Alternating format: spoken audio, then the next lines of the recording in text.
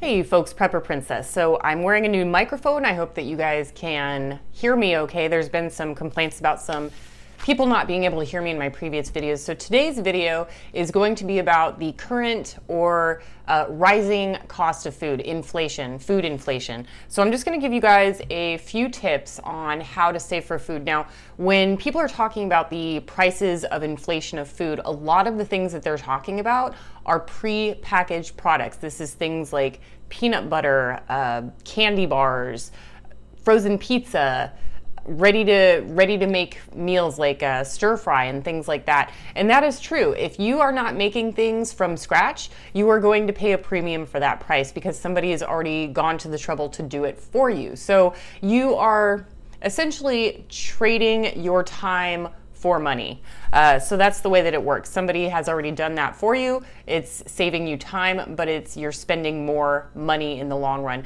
So every time I make a video about saving money on food, there are always naysayers who say, we can't get those prices here, prices are different. Well, a lot of people are able to do things better than me when it comes to saving money on food because of their location. Now, if you live in a place like Alaska, Canada, New Zealand, the prices are going to be exponentially different on where you live as opposed to where I live. I live in the Silicon Valley of California, one of the most expensive places in the world to live. So I have to cut corners and save money wherever I can in every facet of my life in order to save for my dream goal, which is an income property. So um, Safeway is a national chain and they send these flyers out. They also carry them in the stores. You're more than welcome to go in there. And this week, because it is coming up on Easter, ham is on sale. They always put the doorbusters on the front page top of the ads. Ham is currently 97 cents a pound, okay? Now my buy price for beef is $2.99 per pound. My buy price for uh, white meat like chicken or turkey is $1.99 a pound. When those things go on sale, I will buy as much as I can fit in my freezer, whether I need it or not, because I'm going to be using that food until the next cycle. Stores have 12 week cycles, so you're going to have a certain type of beef that's on sale, and then 12 weeks later, it's going to be the same type of beef on another sale. My personal favorites are London broil and tri tip. London broil I use to make beef jerky, and tri tip I love to barbecue. This week, tri tip is on sale for $2.99 a pound. So I went and got as much as I could fit in my freezer. Okay. And I paid for this $23.62. The regular price would have been $63.12. See that? People who don't believe me, the proof is in the pudding. I don't even need to show you my receipt. I'll just show you what's on the on this. Another thing that you can do is you can check with the butcher at the meat department and ask them when their items go on clearance or go on reduced prices. This is when they are cycling through their inventory and, and they don't have the space to put the new product, so they will greatly reduce their prices um, significantly and you can take advantage of that. I did ask my local butcher at Winco when they did that and they do it every Monday at 8 a.m. and 8 p.m. Fortunately, I was able to get in there and I got pork loin, sweet and sour ribs, large pack, regular 308 a pound, uh, reduced by almost half. So it was 11.15, and then it went down to 6.69. Immediately went in the freezer. I am going to be having a barbecue in a week, so these are really going to come in handy. A couple of other things that you can do is with your fresh fruits and vegetables, you can regrow them. So this is celery. And I used up all the celery. As you can see, cut it up, use that. And then I just put it in a coffee mug, filled it with water, dropped it in there, and as you can see, the top is regrowing. The top is not going to regrow as big as the original celery, but it is gonna save me maybe 50 cents to a dollar just by letting it sit in the windowsill for a couple weeks, and then I'll have an extra serving of celery, something I can add to a soup or stew for flavor and crunchiness for texture. Another thing is fruits and vegetables. So you want to, as much as you can, eat fresh fruits and vegetables. This week, I was looking at green beans. I was looking at them in a can and I was looking at them fresh while I was at Safeway. I usually don't shop Safeway unless I see a doorbuster. My primary place of shopping is at Winco. Their prices are the best. If you have a Winco in your area, I highly, highly recommend going there. Uh, right now, pineapple is $1.48 each. So I went ahead and got one of those and watermelon, I don't think was on here, but those were $3.99 each. So I paid $6. I put them into six different Rubbermaid Rubbermaid containers, not Rubbermaid, those are the big ones, but plastic containers and those I will be eating for my lunch. So if you were to buy a prepackaged one and they do sell the prepackaged ones for $5.99 or you can spend $5.99 and get a full pineapple and a full watermelon divided into five different pieces and it's $1 as opposed to $5. So again, you're paying a premium for those prepackaged prices. So what you want to do is eat as fresh as you can. The canned green beans right now were $1.50 and uh, the fresh vegetables were, I believe, $2.99 per pound. So I decided not to get any of those. I do still have Brussels sprouts in the fridge, which I will be eating tonight for dinner. So um, that is just a few of the tips. I know that you, this, and if you say that this is not available in your area, you're completely incorrect. You just do not, I'm sorry,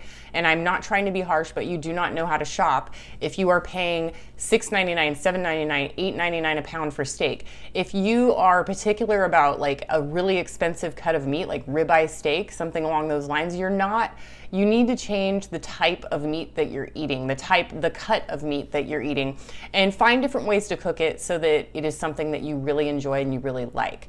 So um, simplify your diet do that as much as possible and I'm going to show you what I've got in the sun oven going. I cook once a week for my breakfasts and I prepackage my lunches as I told you the pineapple and watermelon. So we're gonna go ahead and go out back and I'll show you what I've got going in the sun oven. All right, folks, so what I have going in the sun oven today is an almond poppy seed loaf that's made by Krusteaz. There's three ears of corn. Krusteaz is K-R-U-S-T-E-A-Z,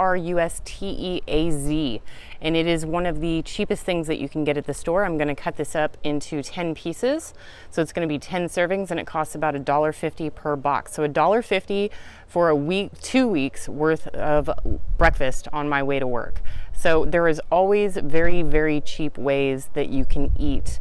Uh, you just have to be creative um, and you know, that's going to go into 10 slices. I work five days a week over two weeks. That's 10 slices, 10 days of breakfast. Another thing that you guys should be taking into account is the cost that it takes to cook your food. With the sun oven, I am not paying anything. I'm not turning on the electricity. I'm not using between one and 5,000 watts for my oven and my stovetop. So I'm doing this completely free of charge. Again, about $1.50 for two weeks worth of breakfast, 75 cents a week. That's that's next to nothing. Three ears of corn, 59 cents per piece. That's $1.50. I'll be eating one ear of corn over the next three days, just sticking it in the microwave once it's cooked. Very, very cheap, uh, amazingly healthy snack. Don't go for the candy bars, go for the fresh fruits and vegetables. All right, folks, one other thing or a couple of other things that I wanted to share with you is eggs. So eggs are amazing. Um, I am fortunate enough to get them from my own chickens free of charge. And I also sell the excess eggs at my job. Uh, so fortunately, I don't spend any money on my garden. Any money that I make from my eggs or my garden produce goes right back into the garden and I essentially break even, but I still get all of the free eggs that I want. However, I know that this is not the case for most people. Uh, but eggs you can get at Walmart for $1.89 to $2.19 a dozen. And if you think about that, you know, two, let's say 225 divided by 12, that's 10, 25 cents per egg. Now these are packed full of protein, uh, they're packed full of the healthy fats that you need, and they only have about 75 calories each. One thing that we should be taking into consideration is not the rising cost of food, but the actual price that you pay for food is so incredibly cheap no matter what you're paying.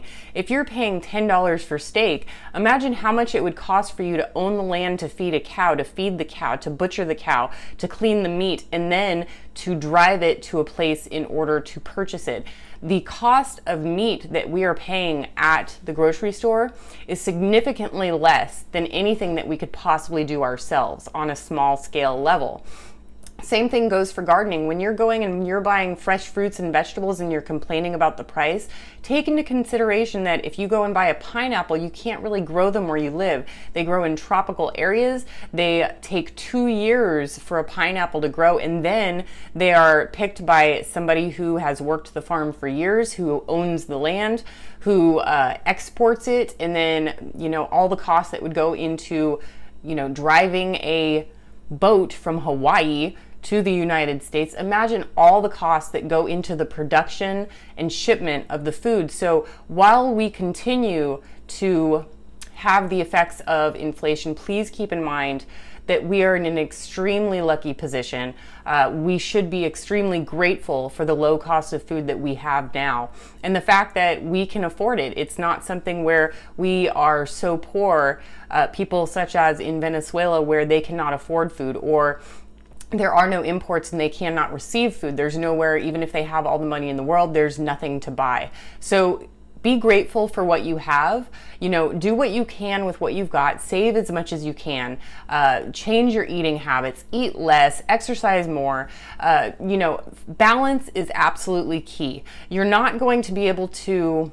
You can't complain about having organic, non GMO, uh, free range products and then complain about the price. You're going to pay a premium for that. And the choice is essentially up to you. Do you want to pay that premium for the pre cut carrots? Do you want to pay the premium for the pre mixed stir fry that you're purchasing, or do you want to do it all yourself and save a lot of money?